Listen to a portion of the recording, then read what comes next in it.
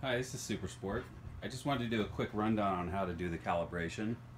This will calibrate not only the forward and back, but also left and right. Um, as you can see here, I got my NineBot sitting on my wire stand. Let me go ahead and power it on.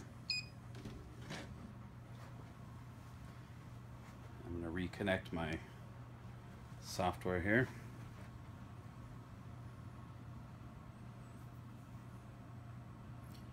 And what I've done is I have calibrated it out of level, just so you can see here. So the current pitch angle here, as you can see, is negative 927, 928, somewhere in there. I want to bring that to zero. So when it's standing upright, I want it to be zero. Um, and for those of you that have an issue with it leaning wrong, left or right, check your current roll angle and see if it's off. Okay, so what I'm going to do, I'm going to go ahead and power it back off.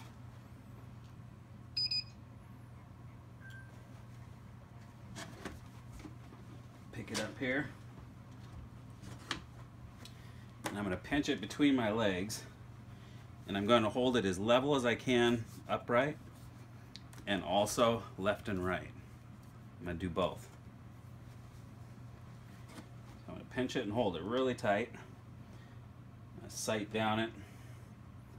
Make sure it looks level. I'm going to power it on.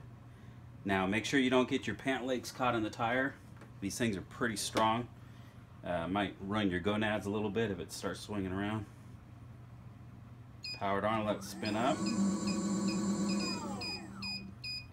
You got the error.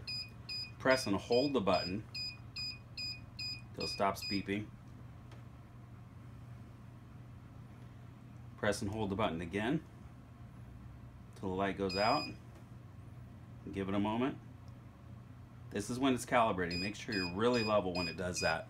And that's it, it's calibrated. So I'm gonna power it off, set it back here. Now two things I'm looking for is I want it to be straight up and down this way, and also straight up and down this way. So standing up. I've got my level this way pretty good. It's actually off a hair, so I'll redo it. I'm going to reconnect my app. And right now the wheel is leaning, so let's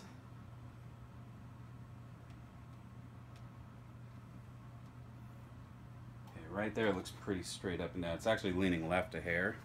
Let's see what the app tells us.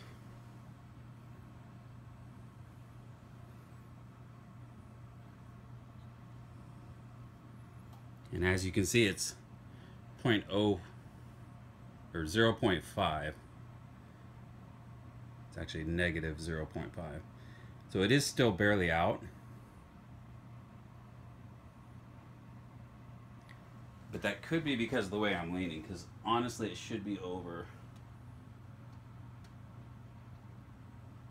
Yeah when I'm straight up I'm at zero. It's really sensitive so right there is zero and looking down the wheel it's straight up. So anyways that's how you do it. Um, just verify when you're done that you end up with zero or as close as you can get to zero in here. Um, and also make sure that when you have it this way okay don't do that.